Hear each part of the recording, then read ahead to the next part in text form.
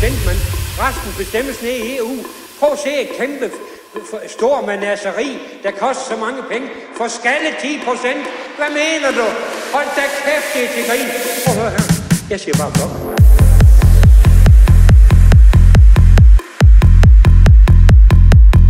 Hvad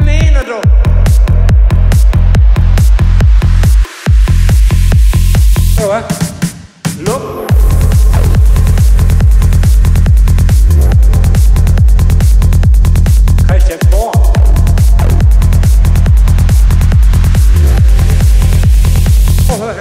Jeg siger bare fuck.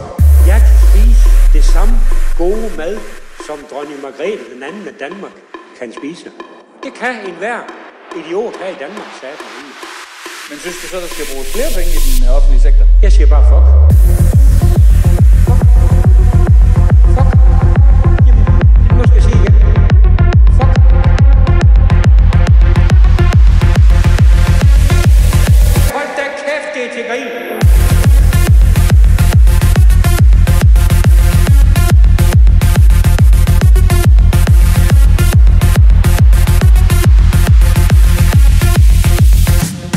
Keşke pardon.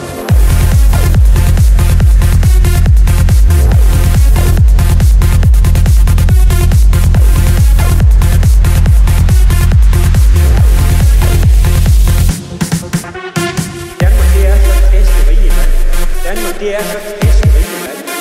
Tæskerige mand.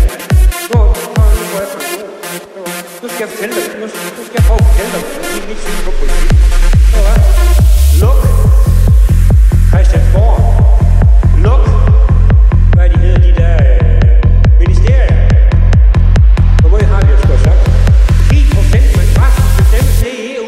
Siger bare fuck,